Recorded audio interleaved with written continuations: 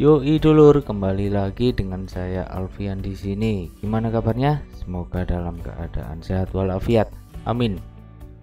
Oke, di video kali ini aku mau nunjukin settingan terbaik untuk OBS Studio. Jika kalian pengguna PC ataupun laptop dengan spek rendah uh, atau bisa dibilang spek kentang ya, seperti punya ku ini, agar hasil video rekaman kalian ini tidak lag ataupun patah-patah. Oke untuk langkah awal pastikan kalian download dan install terlebih dahulu untuk OBS Studio nya sebelum lanjut ke menu settingnya jangan lupa untuk subscribe dan like video ini. Oke? Okay? oke sekarang kita sudah masuk di menu OBS nya untuk settingnya kalian pilih yang menu setting di sebelah kanan ini ya di atas exit ini. Kalian klik setting lalu setelah itu untuk general general ini enggak banyak yang dirubah. Untuk language terserah kalian pilih yang mana. Mau pakai bahasa Inggris atau bahasa Indonesia terserah kalian. Di sini aku pakai bahasa Inggris ya. Setelah itu untuk tema. Untuk tema ini sama. Jadi kalian pilih pingin tema seperti apa? Mau pilih asri grey ataupun pingin yang default. Defaultnya ini yummy nah nanti seperti ini. Di sini aku pilih yang dark ya. Kalau sudah selesai kalian klik apply. Lalu setelah itu kalian masuk di menu output. Untuk output ini setelan awalnya ini dia simple ya. Nah ini simple tapi kalian rubah ke advance. Nah setelah dirubah di advance kalian pilih yang recording. Untuk recording di sini tipe tipe pilih yang standar. Setelah itu untuk recording padnya. Recording pad ini defaultnya di lokal di C ya yang C. Jadi kalian pengen rubah di D di E terserah bebas. Kalian pilih yang mana. Oke. Lalu untuk recording format kalian pilih yang MP4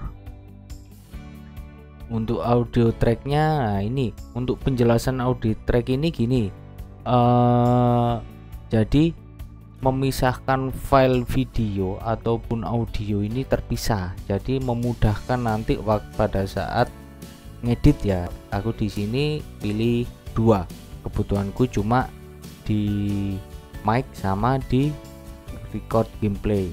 Jadi kalau kalian pingin klik tiga terserah bebas. Jadi tergantung kebutuhan. Jadi tiga biasanya kalian eh, ada tambahan webcam nih jadi suaranya nggak nggak kecampur gitu loh. Jadi kan enak pada saat ngedit ini file audionya nanti terpisah seperti itu penjelasannya. Jadi di sini aku pilih dua ya. Untuk encoder encoder di sini pilih yang X264 lalu rescale outputnya di sini nggak usah dirubah sih. Nah jadi kalau kalian pengen ngerubah di 1080 pengen dirubah ke 720 nah nanti kalian centang dulu ini rescale outputnya lalu kalian pilih yang ini tanda panah kecil sebelah kanan. Nah, ini dipilih 720 tapi di sini aku pilih yang 1080 ya. Oke lalu di red controlnya pilih yang CBR untuk bitrate nya sendiri aku kasih 15.000 nah jika laptop kalian hasil recordnya masih nge-lag ataupun patah-patah kalian kecilkan aja bitrate nya jadi 12.000 nah seperti itu. Oh sorry. Jadi kalian coba cari-cari kalian record pasnya di bitrate berapa? Kalau aku di 15.000 nah ini sudah hasilnya sih nggak patah. Tapi kalau di 15.000 kalian masih lag ataupun patah-patah kalian kecilin lagi. Oke lalu di sini CPU usage kalian pilih yang ultra fast. Untuk profile high tune zero latency. Nah jadi seperti itu jika sudah dirubah semua, kalian klik apply. Selanjutnya di menu audio. Menu audio ini sama nggak nggak banyak yang dirubah.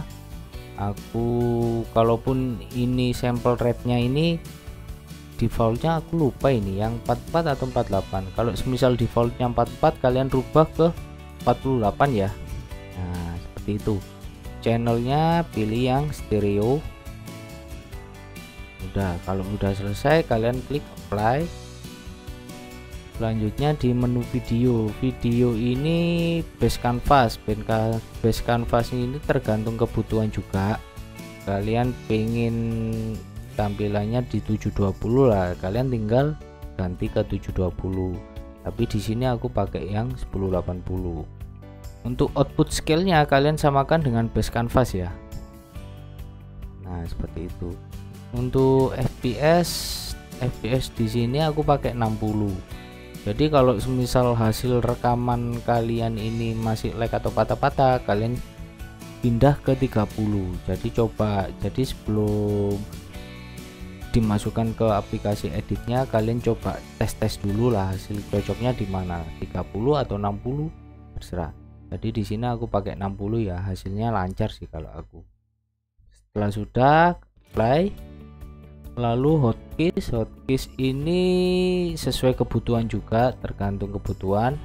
Aku di sini cuma pakai yang untuk start recording maupun stop. Jadi aku pilih up dan down. Jadi mempermudah aja sih terserah kalian.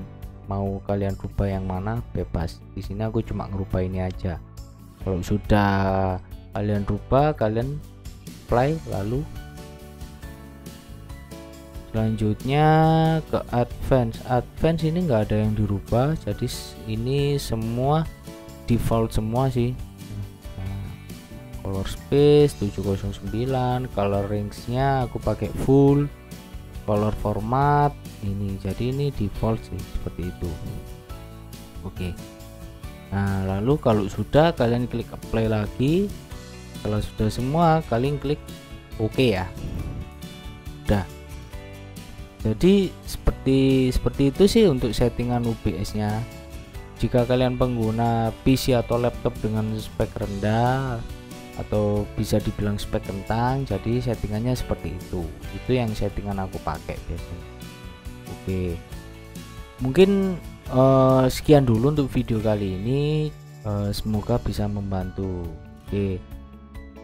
Jangan lupa untuk subscribe like jika kalian suka dengan video ini dan share ke teman-teman kalian. Teman-teman di sini masih bingung ataupun masih belum paham silahkan tinggalkan pertanyaan di kolom komentar. Oke sampai ketemu di next video selanjutnya. Bye bye